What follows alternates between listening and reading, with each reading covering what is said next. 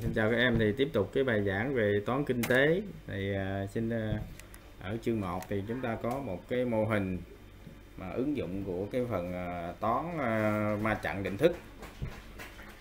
À, đó là cái mô hình cân đối liên ngành gọi là mô hình input output á.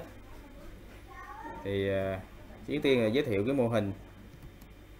Thì giả sử trong nền kinh tế chúng ta có n ngành và ký hiệu là từ ngành 1 đến à, ngành n giả sử cái ngành thứ y nó sẽ cung cấp cho ngành thứ k một lượng sản phẩm có giá trị là xyk thì cái này nó gọi là giá trị cầu trung gian. Ngoài ra thì cái ngành thứ y này nó cũng cung cấp cho cái thị trường một cái lượng sản phẩm có giá trị là bi để dùng cho tiêu dùng và xuất khẩu. Thì cái này nó gọi là cầu cuối cùng.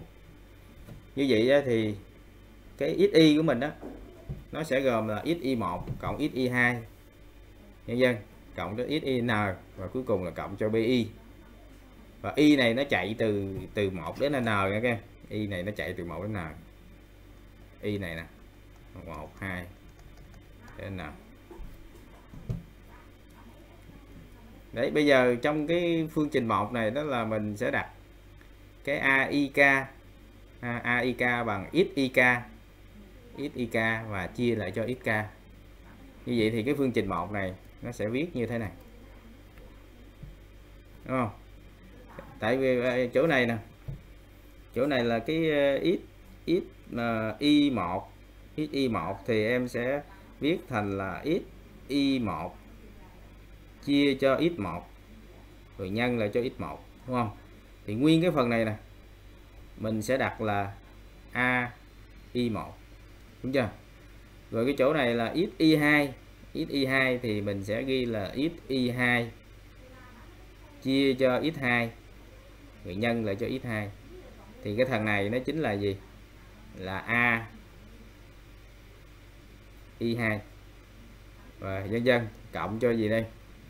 Ừ, xin à, chia cho xn và tất cả nhân cho xn lại. Và cuối cùng là cộng cho bi. Đó, và y này em cho chạy từ 1 đến n. Đấy. như vậy thì cái chỗ này á nó chính là a in Đấy. như vậy thì ở đây mình sẽ được cái phương trình một này nè phương trình một ở trên đây. Nó viết thành đến phương trình hai như thế này. Và thực chất cái phương trình hai này là à, nó chính là cái gì? Thì cái phương trình hai á, nếu mà em em cho cái, à, cái cái cái y nó chạy từ 1 đến n thì nó là một cái hệ. Cái hệ như thế này các em tức là mình ở đây mình có là a, a x x x1 nè x1 nè.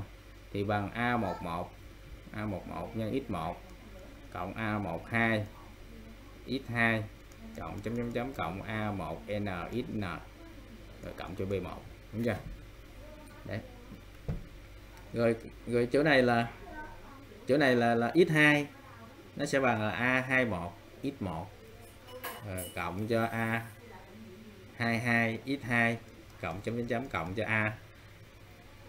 2n xn rồi cộng cho b2 đấy mình triển khai ra thì cái cuối cùng nó sẽ là xn nó sẽ bằng an1 nhân x1 cộng an2 nhân x2 cộng nhân dân cộng tới a, n n xn rồi cộng cho b nè.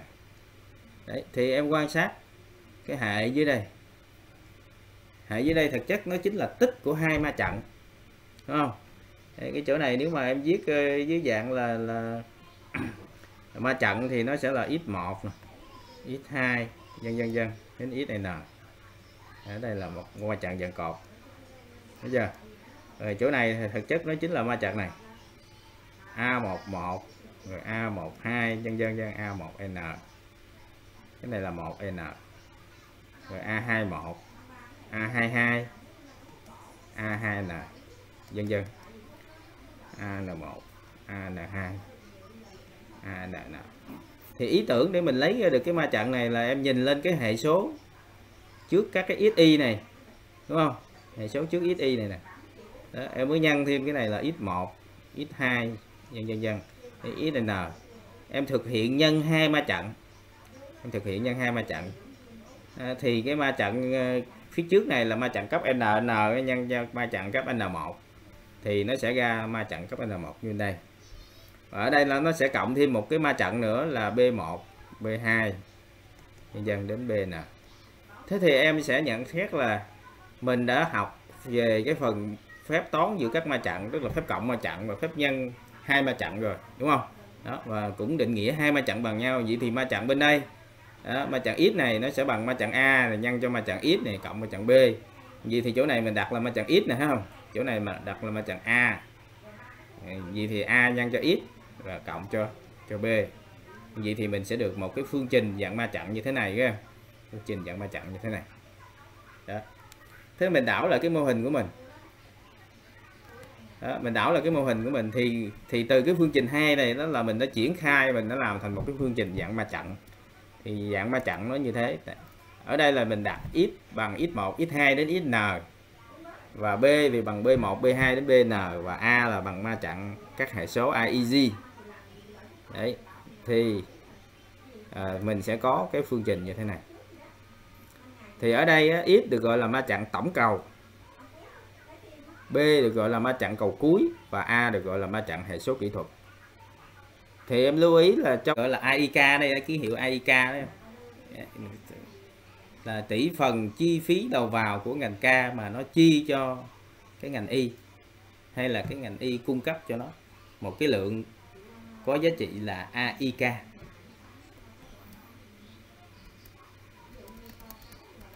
Đấy, bây giờ cái dạng ma trận của cái hệ của cái cái cái cái cái mô hình này nó như thế này là x bằng a nhân x cộng cho b. Là cái em lưu ý cái này mình gọi là phương trình số 3 Thấy không? Thì từ phương trình số 3 này em chuyển vế qua em chuyển vế qua em đặt cái cái cái x làm thừa số chung.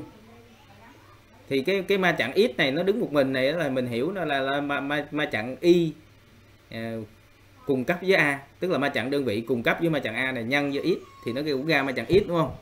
Đấy, thì bây giờ là theo tính chất của cái cái cái phép nhân ma chặn với phép trừ ma chặn thì mình có thể đem x ra làm thừa số chung được này đó, thì bây giờ từ cái cái hệ phương trình ma chặn trên đây mình đưa về phương trình dưới đây được. Thấy không? thì ở đây y là ma chặn cung cấp với với a, mình có giải thích nè. Đúng chưa? Đó. và trong trường hợp này nếu như chỗ này nếu mà y trừ a nó khả nghịch tức là nó có ma trận nghịch đảo thì bây giờ mình nhân về phía trái về phía bên trái của của hai vế của cái phương trình này mình gọi là phương trình 4 đi. Đó, mình nhân về phía bên trái của của của hai vế của phương trình 4 ma trận nghịch đảo của y trừ a.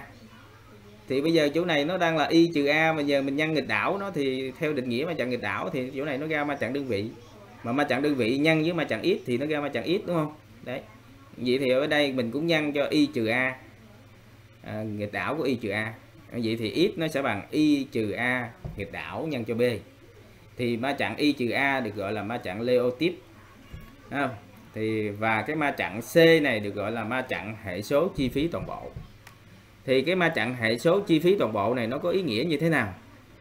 Thì cái ma trận hệ số chi phí toàn bộ này đó thì cái hệ số thứ IK tức là hệ số ở dòng Y cột K của nó nó cho biết là để sản xuất ra một đơn vị cầu cuối cùng của ngành K, thì ngành Y cần phải chi, phải phải sản xuất ra một lượng sản phẩm có có giá trị là CIK